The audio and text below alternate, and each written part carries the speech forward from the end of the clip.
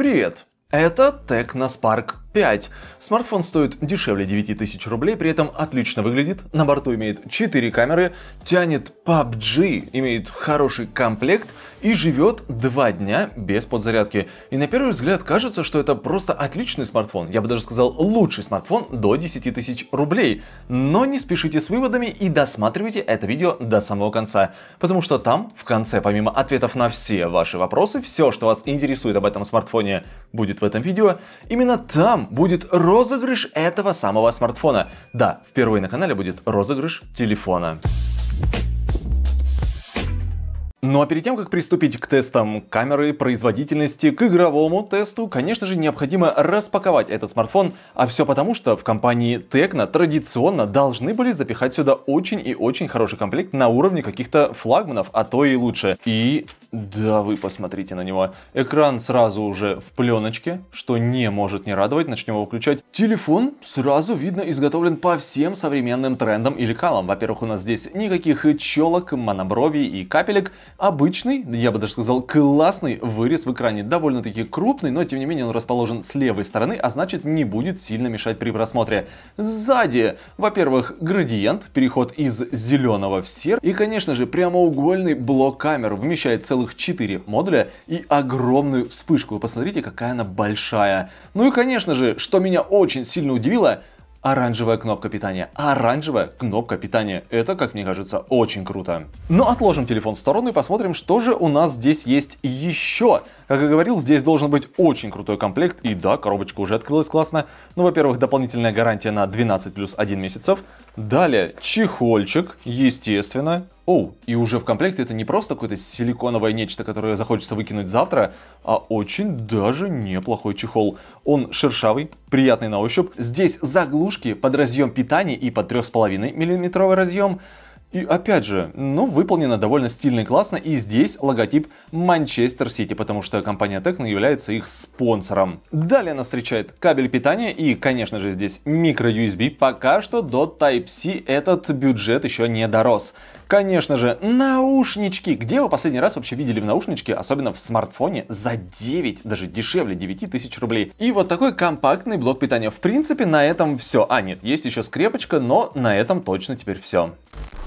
Дизайнер этого телефона явно был осведомлен обо всех современных трендах. Экран IPS 6,6 дюйма и благодаря тонким с трех сторон рамкам и вырезу селфи-камеры он занимает более 90% фронтальной панели. Разрешение HD+, но пиксели не бросаются в глаза, если, конечно же, не разглядывать их под микроскопом. Однако самое главное это хорошая яркость 480 нит. На солнце можно не вглядываясь и на месседж ответить, и книгу почитать. Оранжевый кнопкой блокой питания я уже восхитился, а вот полноценный слот для двух сим-карт и флешки в распаковке как-то упустил. Исправляюсь, это очень важно. Динамик 1, он довольно громкий, звонок вы точно не пропустите. Со спины все еще интереснее, благодаря прямоугольному блоку камер, вписанному вровень с корпусом и приятному градиенту, телефон выглядит гораздо дороже, чем это есть на самом деле, даже несмотря на пластиковый корпус. Сканер отпечатков пальцев традиционно отличный, как вы видите, он довольно точный и шустрый. Палец прикладываю, и он сразу разблокируется.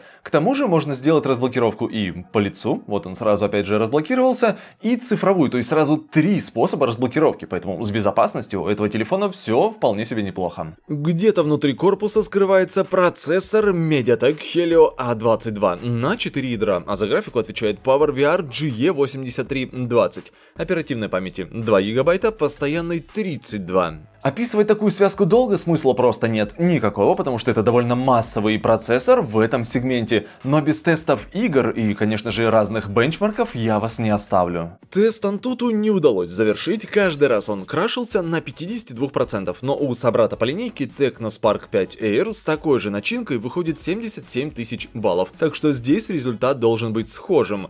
Тротлинг тест прошел без заминок, лишь единожды опустившись до 82%. В Geekbench 5 смартфон набрал 139 баллов в сингле и 460 в мультикор. С цифрами все понятно, но что же на практике? Операционная система Android 10, поверх которой установлена фирменная оболочка HiOS 6.1.0. Работает интерфейс на удивление шустро, рабочий стол листается без заминок, папки открываются с приятной анимацией, приложения запускаются быстро, все плавно и без каких-то нареканий. И это напоминаю, с двумя гигабайтами оперативной памяти и почти полностью занятой постоянной памятью.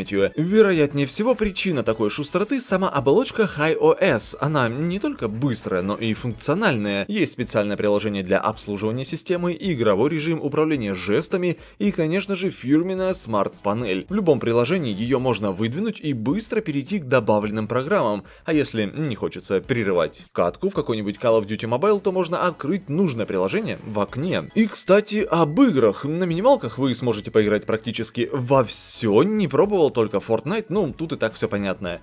PUBG работает, бывают лаги, но не критичные, в колде бегать приятно, даже когда на экране много противников, смартфон вполне себе справляется с этим. Standoff 2 на средних настройках FPS не опускается ниже 40 кадров, на низких можно будет получить даже все 60. Пробовал еще Asphalt 9, танки, Brawl Stars, все это играбельно. Если интересны подробности тестирования, напишите об этом в комментариях, устроим большой игровой тест с тем, что вы пожелаете. С камерами все очень интересно, селфи-модуль на 8 мегапикселей, диафрагма диафрагма 2.0. На свету все отлично, размытие работает практически без нареканий, только в очень сложных сценах или при недостаточном освещении могут быть какие-то неточности. Да и в целом при нехватке света появляются шумы, но для инстаграма или общения вполне подойдет. Отдельно хотелось бы отметить подсветку, роль которой выполняет индикатор оповещений. Тыльная камера состоит из четырех модулей, лишь два из которых можно назвать камерами. Основной 13 мегапикселей с диафрагмой 1.8 и 2 мегапиксельный макромодуль. Еще две камеры это это 2-мегапиксельный сенсор глубины и модуль, отвечающий за искусственный интеллект. Здесь же находится большая, яркая четырехсекционная вспышка. Основной модуль при хорошем освещении выдает очень даже качественные снимки, тут вам и цвета правильные, и с детализацией полный порядок, бывают проблемы с контрастом, но с этим и более дорогие экземпляры не всегда справляются.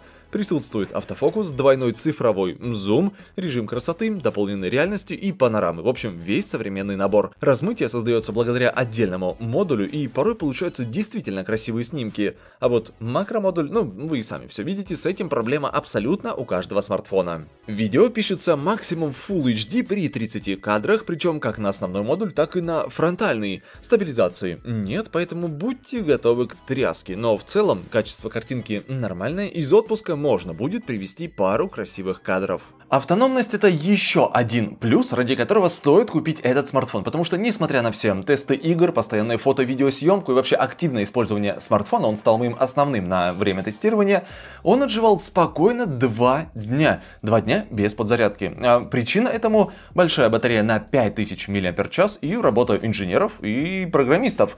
Но вот только есть одна ложка дегтя, это не очень быстрая зарядка до 100% от нуля, чуть больше трех часов. Из оставшихся характеристик стоит упомянуть Wi-Fi на 2.4 и 5 Гц, Bluetooth 5.0, поддержку OTG и, конечно же, GPS, GLONASS, Beidou и Galileo. 4G ловит хорошо, да и в целом, как телефон отрабатывает без нареканий. Давайте-ка отпустим всех тех людей, которые пришли сюда только ради конкурса, потому что я уже вижу ваше нетерпение даже сквозь объектив камеры. Итак, чтобы стать счастливым обладателем этого смартфона новенького Tecno Spark 5, необходимо подписаться на канал и написать один осмысленный комментарий. И, конечно же, необходимо поставить лайк под этим видео, потому что розыгрыш пройдет только в том случае, если это видео наберет 1200 лайков в течение двух недель. Да, я понимаю, что цифра довольно-таки большая для моего канала, но и приз на этот раз очень и очень классный. Смартфон стоит 9000 рублей, а это для меня сейчас очень даже большие деньги.